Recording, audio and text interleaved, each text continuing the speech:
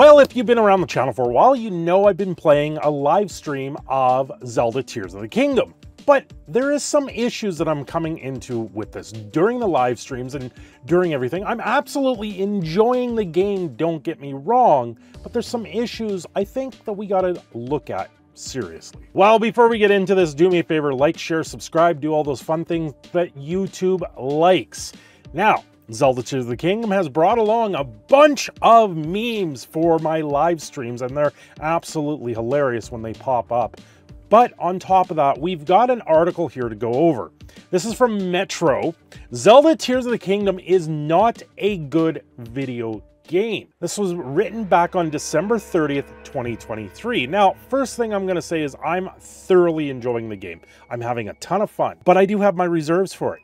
I, I honestly understand why this game is not a game of the year. Um, there's a lot of details that I've seen with this game. They've done tons and drastic details with this game. The storyline is a copy and paste mess. and its the lore, the storyline for the game pisses me off right now because I've done four of the sages. I'm currently going through the fifth sage and it's been the same written script for the four sages and that is to me, very lazy story writing for a game that's so massive and fully detailed. The problem with gamers is that saying that you don't like a particular game will immediately have everyone accusing you of being a fanboy and bias. Wow, does this seem familiar? Does this seem to be something that I've been seeing for a few weeks now? If you don't like Starfield, you hate Xbox. You have a vendetta against Microsoft. If you don't like Spider-Man 2, you're just lying and you're an Xbox troll.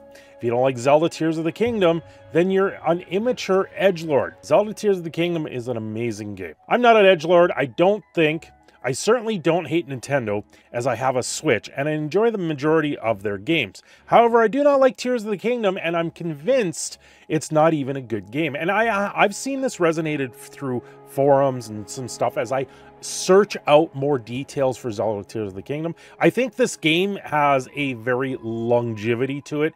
Um, people are going to be playing it for a very long time because there are so many little hidden secrets in the game, and that's kind of where you enjoy it. it.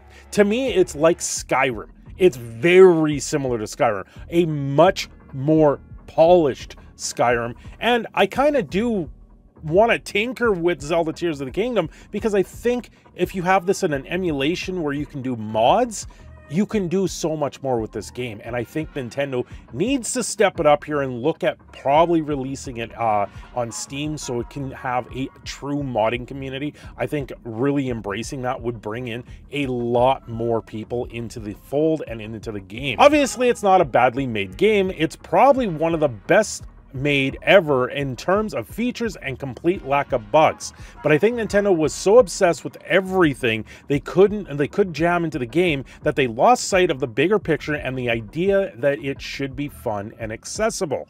It's very accessible, it's very fun, there's uniqueness to it. Put aside the Joy-Con, how small the Joy-Con is, go out and actually get a real controller for this one um, because the Joy-Cons don't do anything justice for a lot of the games that I've seen. I think straight off the idea of reusing the same map was a mistake. Now, I have not played Breath of the Wild and I do kind of want to go play Breath of the Wild, but at the same time, I don't because of how long Tears of the Kingdom is, I don't think I'd ever have time in my day. I don't think I'd be able to sit there and actually play it like we've been able to do this. The physics of the game engine is is great.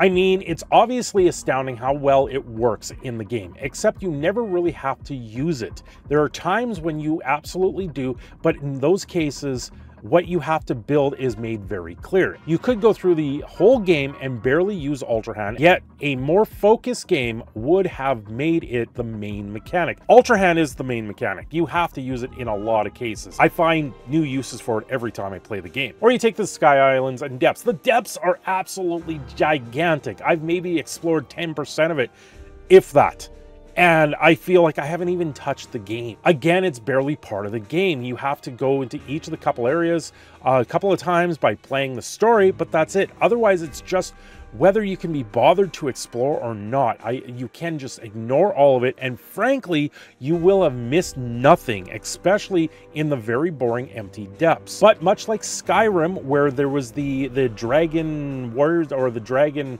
the dragon priestess or what, whatever it was, where the creatures that you got the masks from, that was a whole quest line of its own.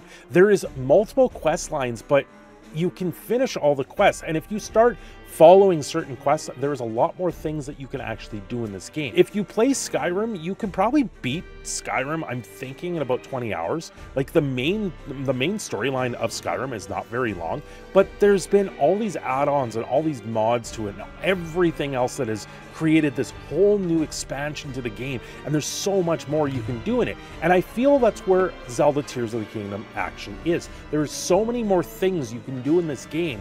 And if you only focus on and try and focus on the main quest, you you miss everything.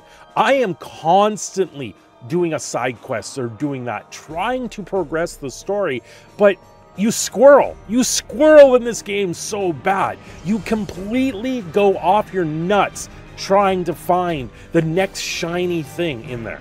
And it's absolutely fantastic in that point. And why I believe Tears of the Kingdom is a very good game. Did, did it belong as a Game of the Year candidate? Probably. Did suggesting it maybe win a Game of the Year? No. Uh, I don't think. Uh, after playing quite a bit of this game, I have to say it's not a Game of the Year. It, it, it, it it's a contender, yes. But I don't think it could be a game of the year, mostly because of what I said earlier, how the storyline was cookie cutter. It, it, became this copy and paste script for the storyline. Each sage you go through is the exact same written storyline with one or two small details changed up because it's a different character. They've scripted these these glorious these glorious uh, CGI and videos to go through this script, but then they miss out on the script and they copy and paste the script. Why in the world would you copy and paste the script?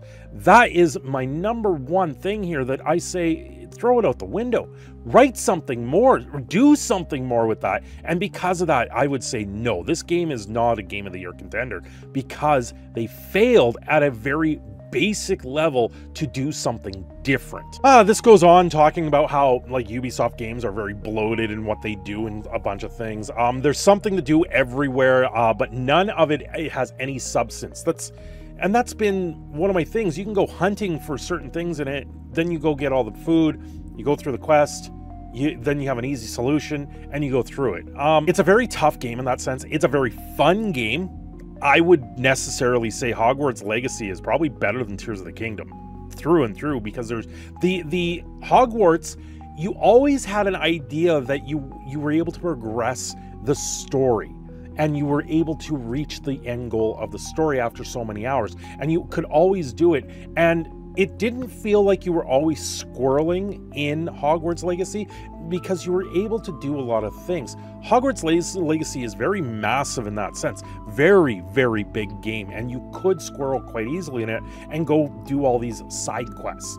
But it never at one point felt it was necessary, and in the Zelda Tears of the Kingdom, it feels like if you're not doing the side quests, you're missing out on the integral part of the story and missing out on the actual game, right? Where Hogwarts, like I'm using these two interjectable because Hogwarts, if you did the main quest, you never felt like you were missing out on the side quests because the side quests always felt like they were carried along for the ride.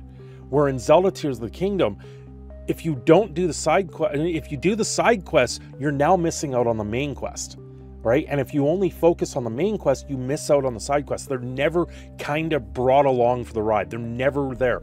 This is something that they did in World of Warcraft a very long time ago, and this is why Hogwarts Legacy does do a lot better work in that sense when you play World of Warcraft and you're leveling, this is much before the days where you can just pay for your your uh, your character to be level 80.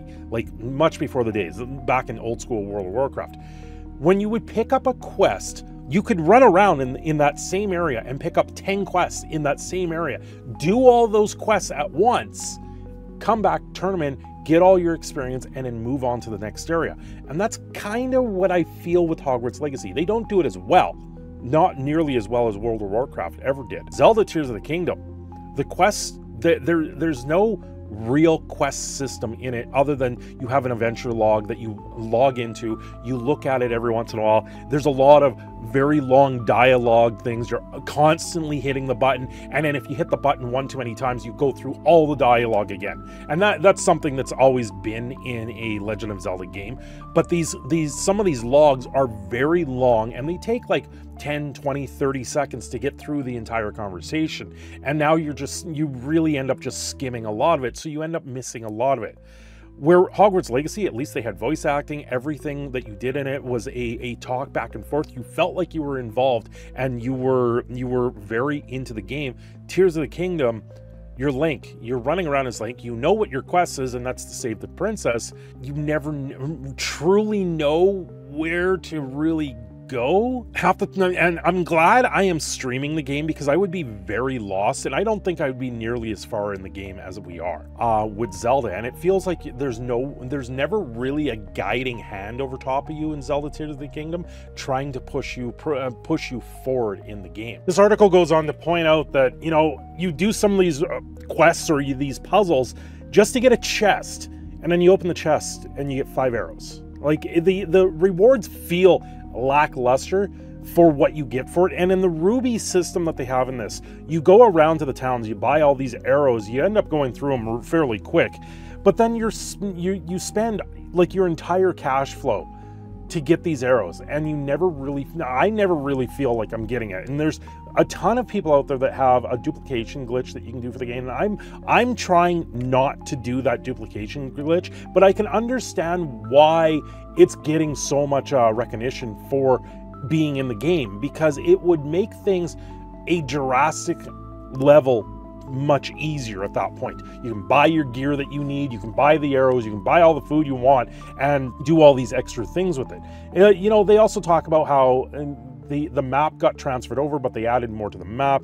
It's it's like an endless game that's going to go for a long time. This is a really tough spot. Like Zelda Tears of the Kingdom, it's a great game, much, very much worth the money that you, you pay for the game. In no way would I say it's a game of the year because the scripting of the game, the voice acting is great, the script of the game, the cookie cutterness of the dungeons is horrible. It, the, it's it doesn't add this uniqueness to the game. Where with Zelda games in the past, you would need things like the hook shot, and you'd need to unlock this item to be able to go do that thing you got all the items almost at the very beginning of the game that you needed to be able to play the game.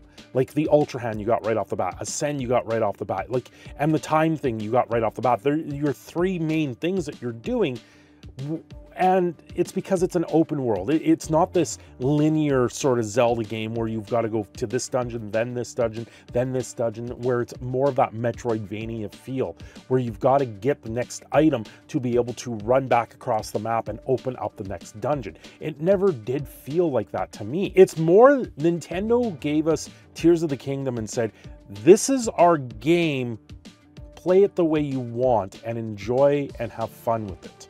We don't care if you finish it. We don't care what you do in the game, but go off and have an adventure.